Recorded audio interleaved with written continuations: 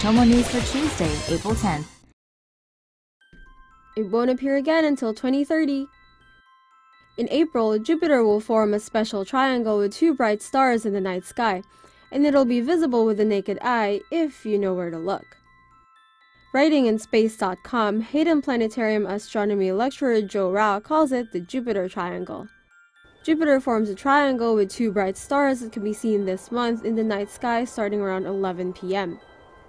Face east-southeast and you'll see a roughly isosceles triangle comprised of the star Arcturus and the binary system Spica, with Jupiter forming the brightest of the three points. The Arcturus Jupiter and Arcturus Spica sides of the triangle measure about 38 degrees in length, while the Jupiter Spica side is about 30 degrees long. The triangle will narrow in shape throughout the month as Jupiter moves in the night sky towards Spica. The triangle will be visible until September when Spica disappears into the sunset. Jupiter will do the same in early November. The gas giant will not reappear in this part of the sky until 2030. If light pollution prevents you from seeing the Jupiter triangle, there is a long, narrow triangle currently visible high in the western sky during the evening.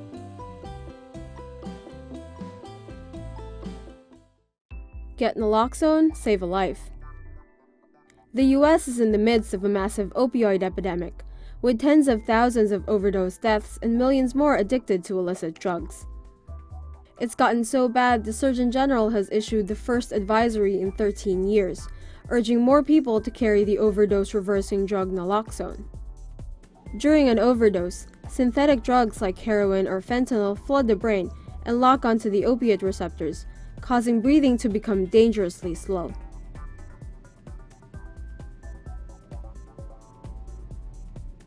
Naloxone can reverse the effects of an overdose and comes in two forms a nasal spray and a syringe that should be injected into the muscles of the thigh, butt, or arms.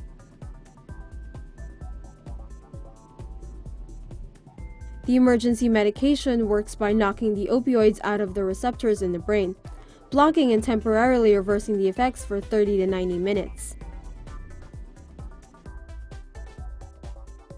Police officers and medical responders are among those who have been using naloxone to counter deadly ODs. The life-saving drug is also available at local pharmacies and local health departments. China put jamming equipment on its fake man-made islands. China is back to throwing more junk on their fake little piles of dirt in the South China Sea. According to US officials, China has installed military jamming equipment on two of its Spratly Island outposts that can disrupt communications and radar systems. Satellite imagery taken by commercial satellite company Digital Globe shows a suspected jammer system with its antenna extended on Mischief Reef, one of China's seven artificial islands. According to US intelligence, the new jamming equipment was installed within the last 90 days on Fiery Cross and Mischief Reef. Three of its man-made outposts, Fiery Cross, Mischief Reef, and Subi Reef, now have 10,000 foot runways, airplane hangars, ammunition depots, barracks, and deep water piers for ships. China claims sovereignty over all of the South China Sea. The problem is, Beijing seems to always be claiming things that don't belong to it. Guess his time isn't up yet.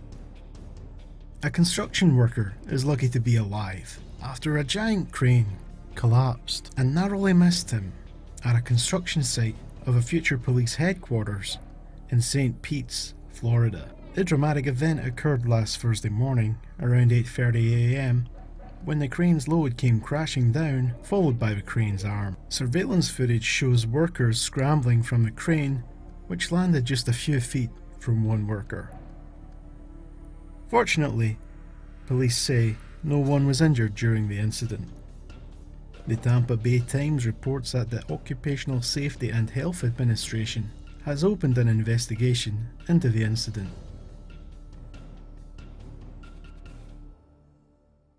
Israel may have dropped missiles on a Syrian airbase.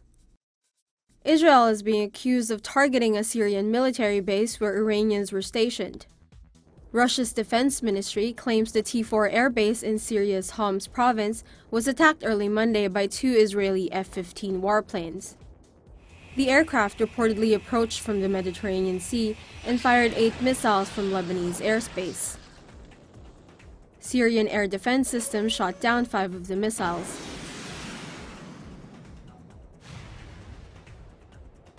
The remaining three hit the western part of the base, killing 14 people, most of whom were Iranian or members of Iran backed groups. The missile raid came just hours after a deadly poison gas attack killed at least 40 people in a rebel held stronghold near Damascus. Syrian media initially suspected the US to be behind the airstrike, following threats by US President Donald Trump to make the Syrian government pay for the poisoning. But the Pentagon has since denied any involvement.